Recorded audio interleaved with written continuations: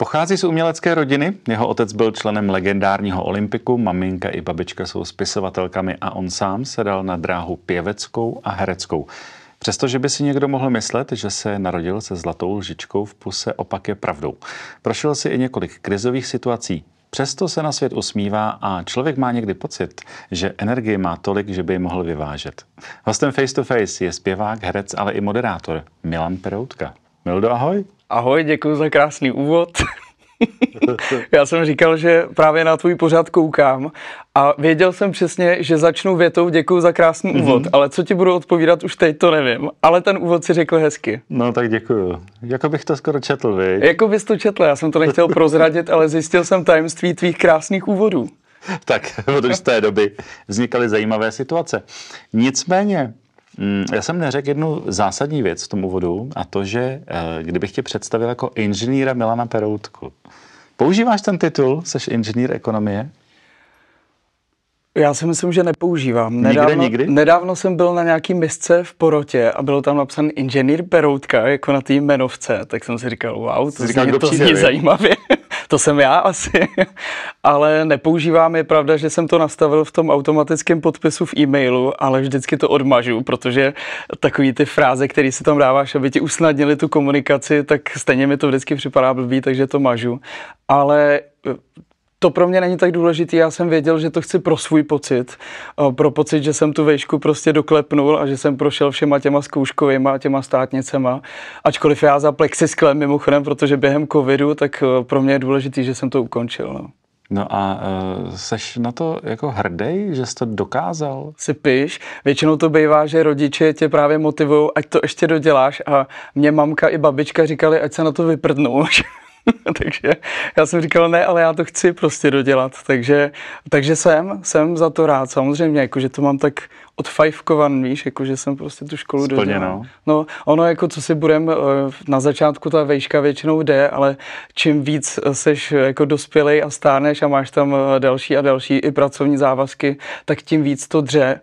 A já jsem nastoupil na to navazující magisterský studium v podstatě v době, kdy eh, mi eh, nedlouho poté zavolali z pořadu Tvoje tvář má známý hlas.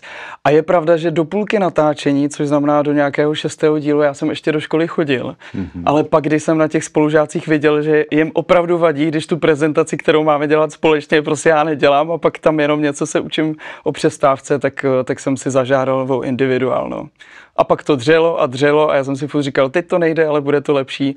A pak právě díky covidu jsem si říkal, teď už se nemám na co vymlouvat a prostě jsem to dodělal.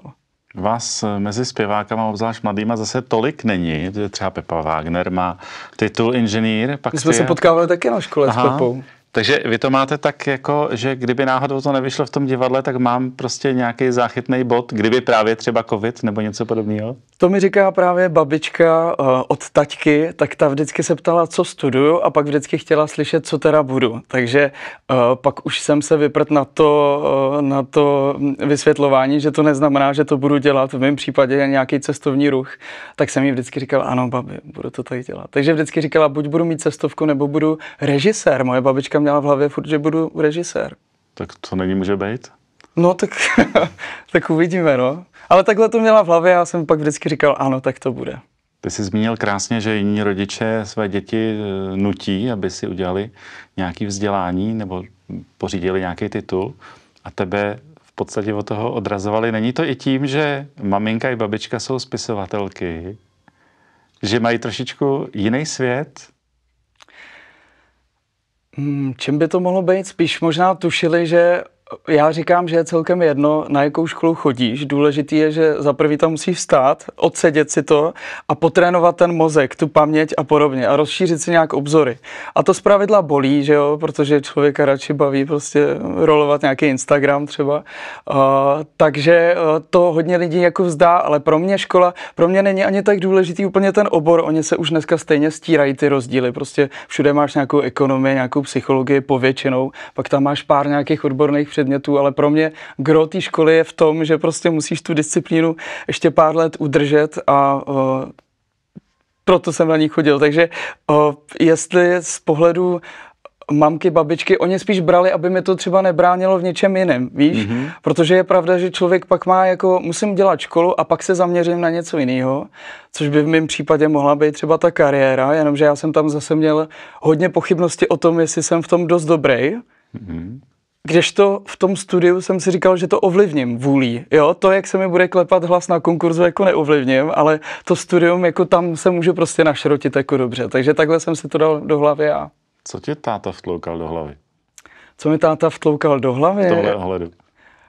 V tomhle ohledu já si myslím, že on byl rád, že se učím a on vždycky vzpomínal, my jsme tři sourozenci, vyrůstali jsme v jednom pokojíčku a uh, tátovi se líbilo, že já jsem si dával budíka o hodinu dřív než oni, abych se v klidu ještě mohl učit do školy. Uh-huh. Protože jinak to nešlo, že jo? Tam jsme měli jednu televizi, jeden internet, jedno rádio a museli jsme si tak nějak regulovat, kdo si co bude pouštět.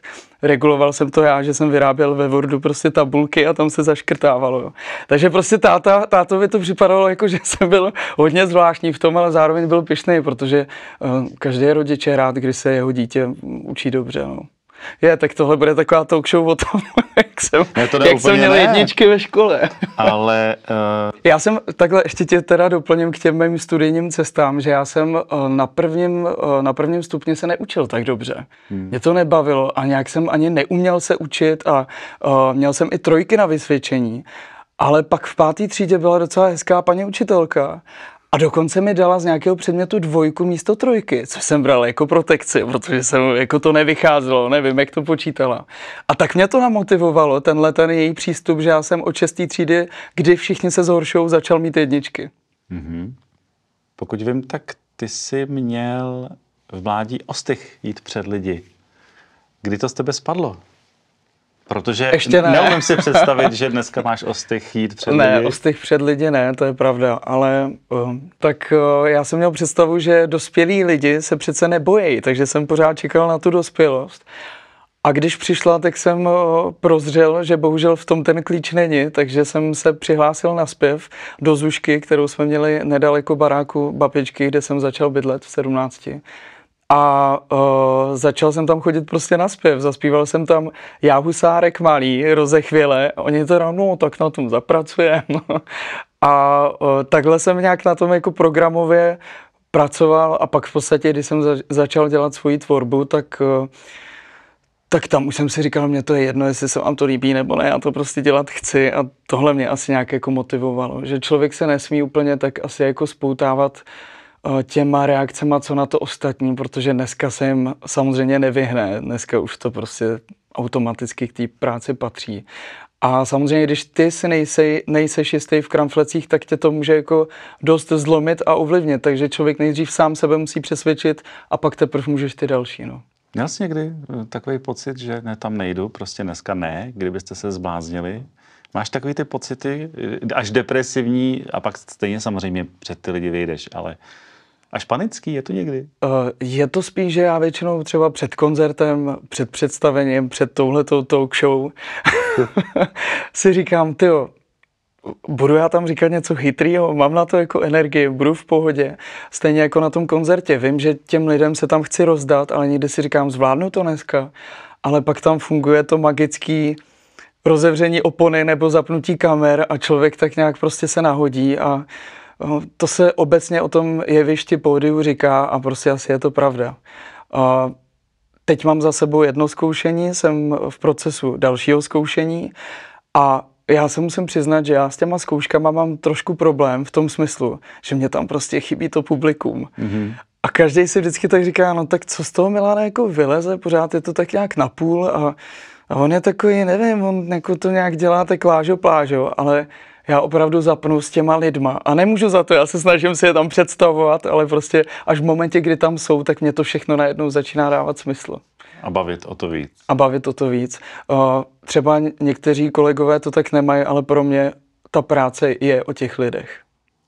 Eh, muzikant, eh, zpěvák a muzikant, ale i herec. Neumím si moc představit, že může fungovat, kromě našeho nejslavnějšího skladatele, bez sluchu. Ale ty jsi jako malý kluk měl problémy se sluchem. Kde se to vzalo jak se to spravilo?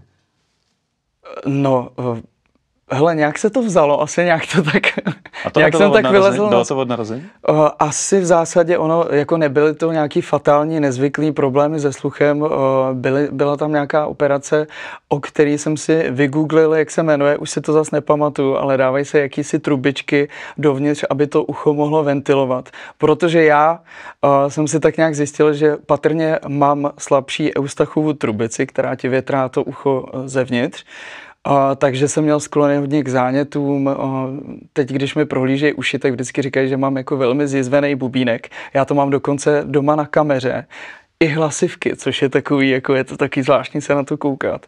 Ale to ucho je prostě ten bubínek je zjizvený, místy skalciovaný, jestli to říkám dobře, vypadá to jak krápní krátery nějaký jsou tam, ale funguje to, slyším v pořádku a když to tak bude i dál, můj taťka třeba měl ten sluch horší, ale tam to bylo dan tím, že on pral do těch bicích no a to ani, asi jinak ani nejde, že jo? Takže, uh, takže uvidíme, ale je to v normě, slyším tě a, a tak, ale je krásný, že díky tomu, že jsem se spojil právě s nadací, která funguje i s, se sluchově postiženýma lidma, tak občas na autogramiádě ke mně někdo přijde, ukáže mi jako sluchátko a že mě vnímají, že i já třeba jsem v tom udělal a dělám nějakou osvětu, protože jsme nahráli pro něj písničku a tak dále a jezdím s tím po světě, takže, takže já jsem vlastně rád, pokud jsem díky tomu i našel nějaké svoje působiště v tom charitativním odvětví. No. Mluvíme tady o tatínkovi. Letos slaví Olympik 60 let, Petr Janda 80 tvůj táta byl součástí téhle legendy velký.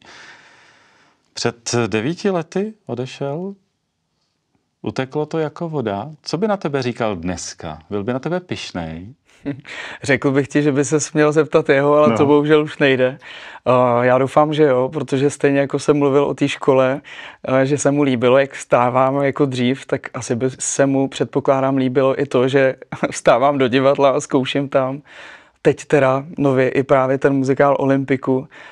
A co se týče těch oslav Olympiku, tak já tam budu, budu tam s Petrem eh, zpívat taky jednu písničku a těším se na to, 60 let je prostě mazec, to je, to je skvělý a můj táto v té kapele začal hrát ve 22 letech, což je taky pro mě už teď taky hustý. Byl to talent od pána Boha, on vlastně žádnou školu na to ani neměl, to si pak dodělával Aha. zpětně. No a mm, takže odpověď, zase abych se moc nezakecával, odpověď je, že myslím, že ano, že by se mu to líbilo a že by byl hlavně rád, že nějakým způsobem fungují v té branži. Ten jeho odchod byl dramatický. E, zamávalo to tehdy s tebou hodně? Samozřejmě, že ano, ale e, trvalo ti dlouho se smířit s tím, že toho člověka už vlastně jako fyzicky nepotkáš, byť samozřejmě jsou díky bohu, že žijeme v eh, době, kdy máme nahrávky, kdy máme různý videa, kdy máme dneska fungují mobily a tak dále. Ale trvalo ti dlouho, než jsi se jako smířil s tím, že to už jinak nebude? Víš co, tam, bylo, tam byla ta věc, že to je zkrátka nevratný. Prostě to tak je a jediné, co může s tím udělat, je se s tím nějak smířit. Já vím, že první týden jsem docela hodně prospal, ačkoliv ono tě na ramena hned začne padat to, že musíš zařizovat ten pohřeb a všechno to kolem, takže vlastně je to mazec, takže spíš a zároveň zařizuješ furt něco. Samozřejmě nám chodili i spousta kondolencí, bylo to hezký, cítili jsme v tom smyslu, že na to nejsme sami, já jsem se bál toho pocitu, až všichni už pochopí, že to tak eh, je a nám to ještě, na nás to teprve dolehne, že jo, po tom velkém oparu těch emocí. A já jsem měl spíš takový taky období, že najednou jsem se viděl na fotce a viděl jsem tam tátu, nebo jsem se zasmál a připadalo mi, že se směju jak on.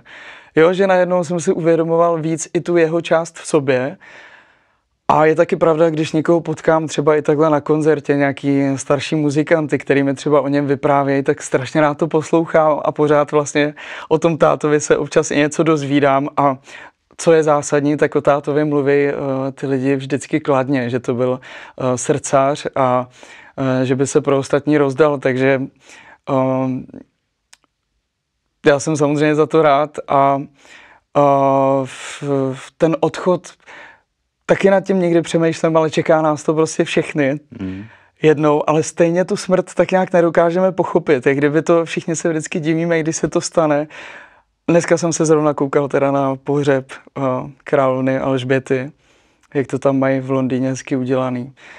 No ale je to něco, co k tomu životu prostě patří, jenom, jenom uh, nikdy nevíme, kdy to přijde a tohle zkrátka přišlo jako blesk z čistého nebe. No. Zase pravda, že když se člověk může připravit, když někdo je třeba dlouhodobě nemocný, tak to může nějak prožít. U tebe to, to je bylo otázka, rychlý. To je otázka, taky jsem se o tom bavil s lidma, jestli hmm. je lepší, když ten člověk odchází pomalu a ty to vidíš, a nebo když to máš takhle, těžko v tom jako kalkulovat, mm, to stejně asi jako, jako, jako vždycky je to nepříjemný, no.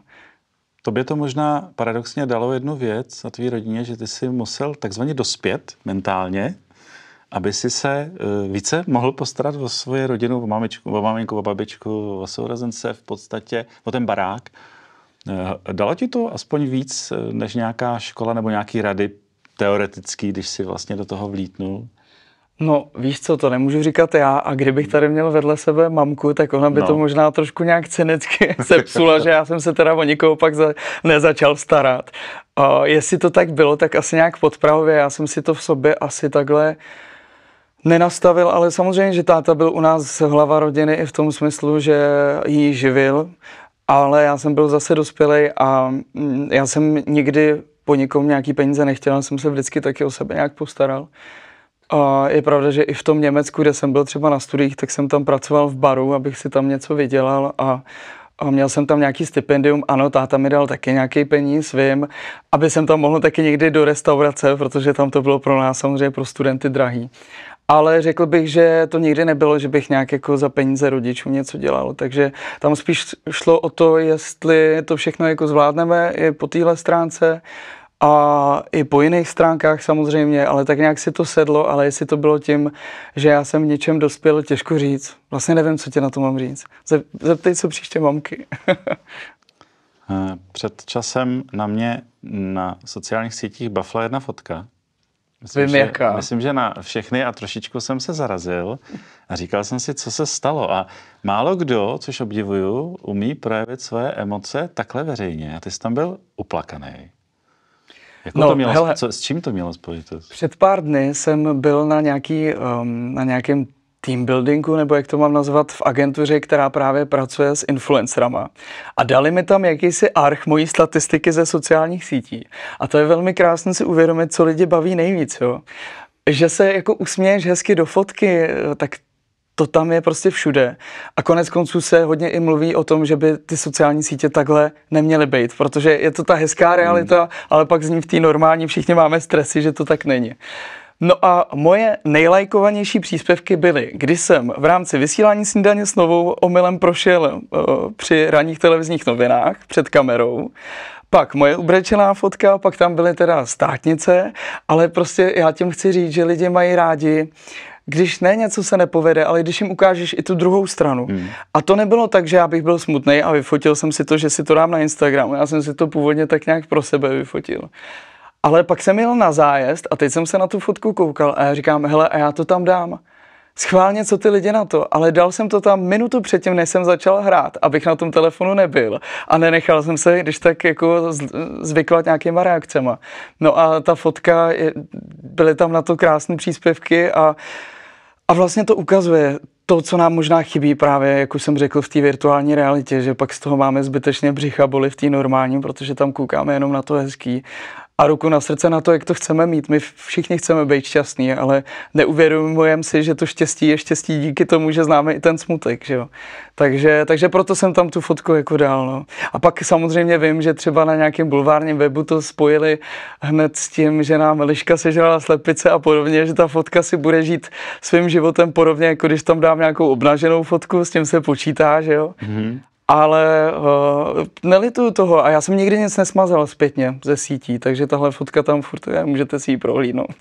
Jsi mluvil o obnažené fotce, do, do jakého uh, limitu by si šel? No jestli víš, tak teď je jedna sociální síť, která se jmenuje OnlyFans a ta je založená na tom, že tam dáváš lehtivý obsah a já vždycky říkám ze srandy, že musím do fitka, abych myslel na ty zadní kolečka, že si někdy udělám tuhle síť. Jo. Samozřejmě to myslím s nadsázkou. Klidně si to dej do nadpisu, jestli chceš. Ale uh, opravdu uh, ten limit, já jsem Pamatuju si, že mě fotil Robert Vano, který je prostě kapacita v těchto těch obnažených fotkách mužských. Byl jsem moc rád, že jsem ho poznal, že mě fotil ale přišli tam najednou redakce odevšať eh, z těch bulvárů a čekali všichni, že se budu svlíkat. A já jsem si na truc nesundal ani tričko a Robert mi tam půjčil aspoň svoje tílko, který mi vzadu připnul nějakou klipsnou. A eh, tak to jsem nechtěl, ale už jako na rovinu nějaký fotky existují bez toho trička a a tak ať, no. Tak, jako... tak není se za co, ty zrovna se nemáš za co stydět, ne? Ještě si pamatuju, že v jednom představení jsem prošel tříkolovým konkurzem a oni pak napsali ještě jednu sladkou podmínku na závěr, že v nějakém obrazu budu nahatej. A já jsem jim říkal, tak to jste mi měli říct rovnou, to já prostě nechci. A pak se mi moje teorie i potvrdila, protože jaký fotky myslíš, že vyšly z té premiéry? No zásadně jenom ty, kde někdo byl svlečený, polosvlečený nebo úplně svlečený.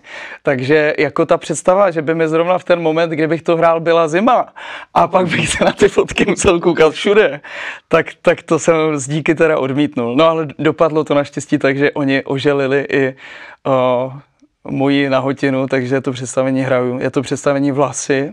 Mimochodem hrajeme na jaře naposled, protože, protože končí licence, takže tímto i zvu všechny. Mám to představení rád a bude mi chybět. No, po tomhle promu myslím, že bude zájem. tak ať, všechno se počítá. Ono mimochodem, když jsme to hráli teď při té rusko-ukrajinské krizi, tak to představení, protože je o válce a o nesmyslu té války, že jo, vlastně válka versus hypizáci, tak to představení mělo neskutečný náboj. Tam hmm. nezůstalo jedno oko suchý a, a říkám, na těch představeních mi vadí to, že mají derniéru jednoho krásného dne a za rok už nikdo ani neví, že jsi to hrál. Takže to, to právě vždycky říkám, proč chci dělat taky písničky a perutě, protože tu písničku si můžu pustit i za deset let a, a bude znít pořád stejně. No. Když se pohybujeme v tom divadelním prostředí, tak co zášť, závist, pomluvy. Jak to, jak to neseš, jak to zpracováváš? Jak nesu to, když mě někdo pomlouvá? Když se to třeba dozvíš. Hele, uh, mám na to takový jeden uh, malý recept. Samozřejmě vždycky si to musím nějak zpracovat, protože vždycky mě to nějak zamrzí. Ale vždycky si řeknu, že to je vizitka toho člověka, nikoliv moje. A navíc je to velmi krátkozraký v té branži uh, něco takového dělat, protože je tady pár lidí a stejně si to všichni zazřeknou a vrátí se to k tobě jak bumerang. Uh, takže já si vždycky říkám, tak fajn, no, tak to říkáš ty něco o sobě, to neříká nic o mně.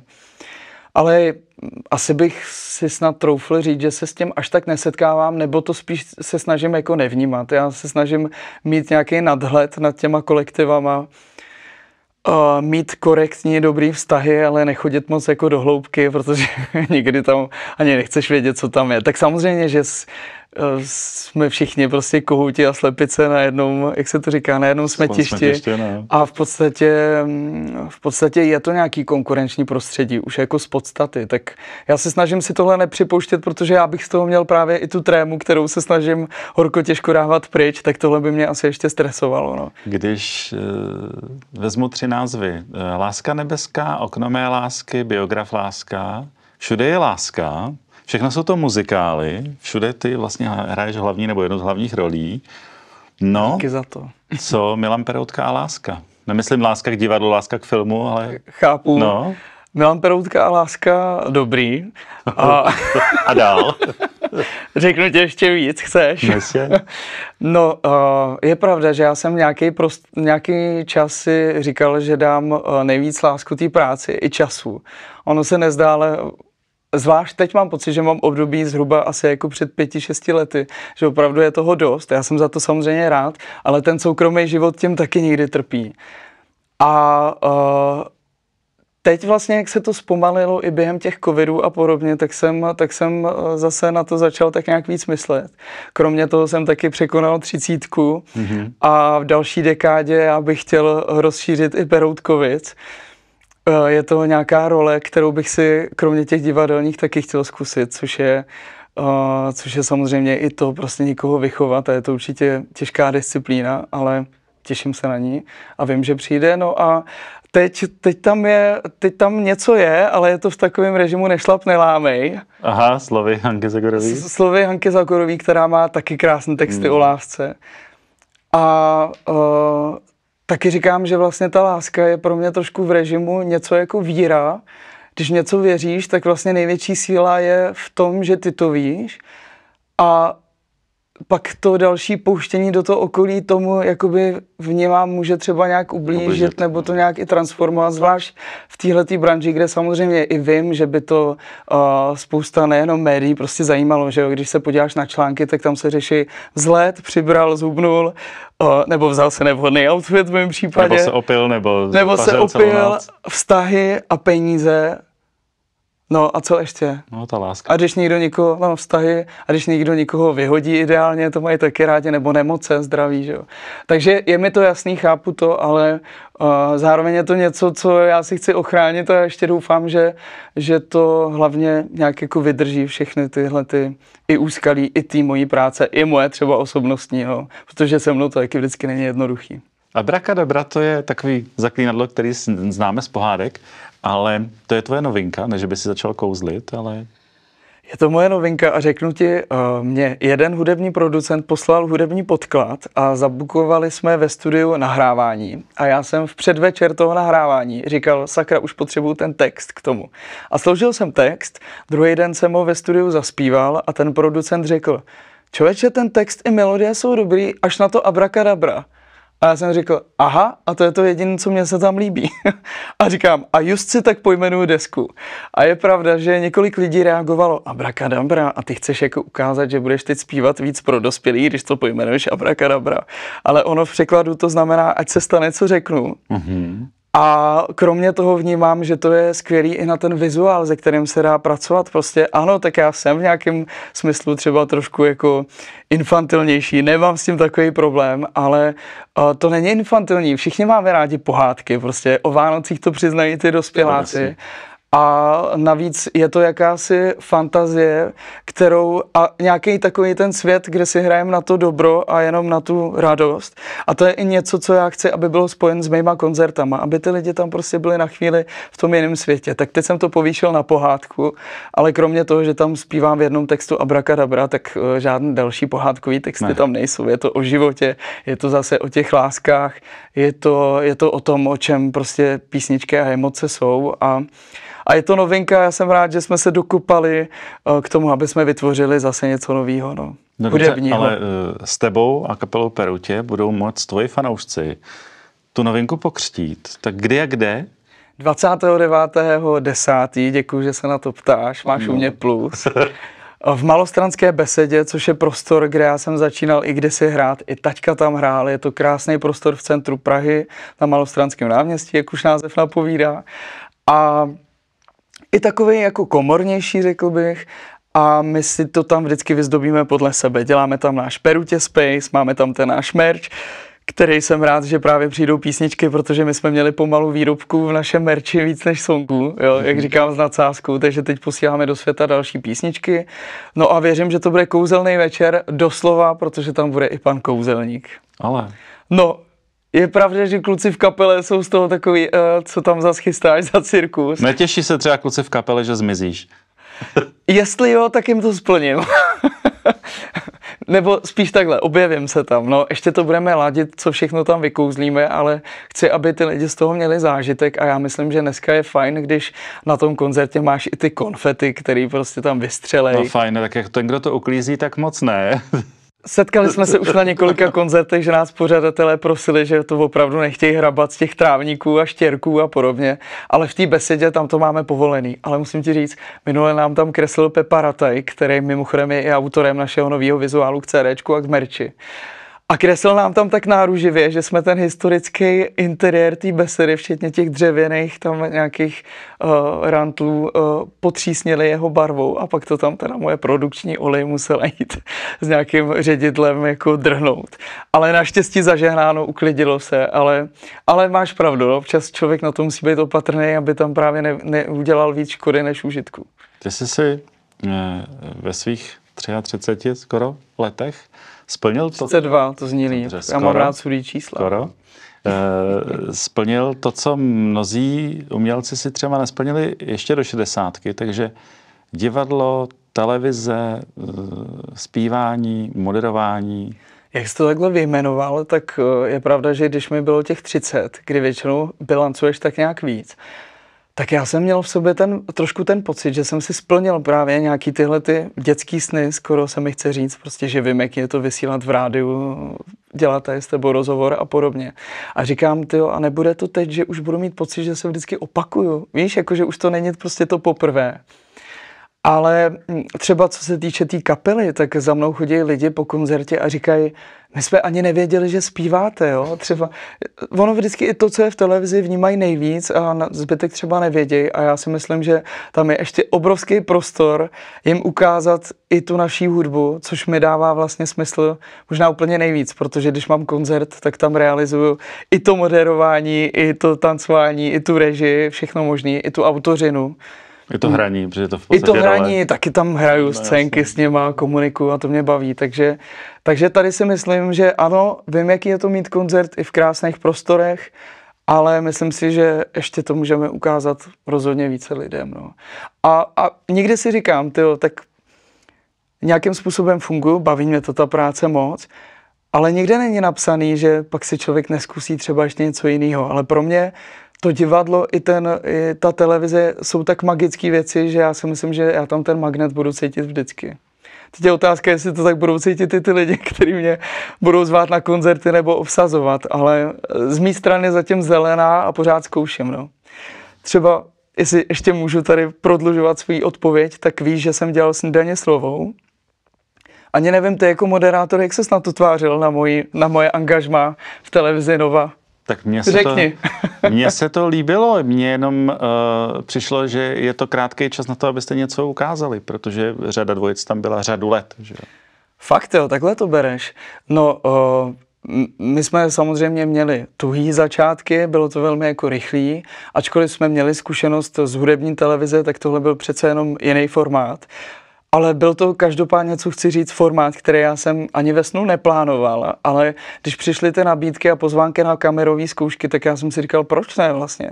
Teď si to rád zkusím, bude to zážitek. A, a teď jsem za tu zkušenost fakt rád a nedokážu pochopit, jak jsem mohl vstávat. Jako ono, když to asi přijde, tak to děláš, jo, ale já mám teď občas, když mám zkoušku od 8 nebo od 9, tak kolikrát vstávám z té postele a říkám si, ty vždyť to zvládal i dřív, no ale byla to fakt skvělá zkušenost a jsem za ně strašně rád, fakt. Tak třeba přijde ještě nějaká ještě prestižnější, kdo ví? Když něco přijde, tak já to asi patrně jako zkusím. Pak záleží, jestli se jim na to budu líbit. Tady nám hrálo nějaký štěstí do karet a nás tam bylo samozřejmě i víc těch dvojic, ale uh, víš, že vždycky musíš být tak nějak na správném místě a zrovna tam musí být něco, že těm lidem, který tam zrovna jsou v ten moment a zrovna můžou rozhodnout, že to máš být ty, tak se to musí všechno potkat. No. Tak díky bohu za to, že se to potkalo tehdy. Že můžu říct, že vím, jaký to je. Tak já ti přeju, aby se takových věcí naskytlo ještě mnoho, ať se ti daří všechno, na co sáhneš, Hlavně zdraví, Milane, to víme všichni, že to je nejdůležitější štěstí, tu lásku, kterou si asi opečovávají. Tak asi je jo. velmi křehká. No a děkuji, že jsi konečně přišel do Face to Face. A já děkuji a bylo to velmi milé a ještě bych si povídal dál, člověče. To tak třeba příště. A o tobě bych se mohl povídat příště. Aha. Nechceš to prohodit výjimečně? To je výzva, to můžeme to Tak já, já tě vyzývám, že bych udělal příště tady talk show s tebou, aby tě tvoji diváci, kterých už máš hodně, mm. a, tak aby tě taky poznali. Co říkáš? No, tak budeme o tom přemýšlet. Já mám rozhodnuto, tak je to na tobě. tak to říká můj dnešní host, Milan Peroutka. Líbil se vám tenhle rozhovor? Dejte mu like a přidejte komentář. A abyste nepřišli o další skvělé rozhovory, odebírejte náš kanál Face to Face.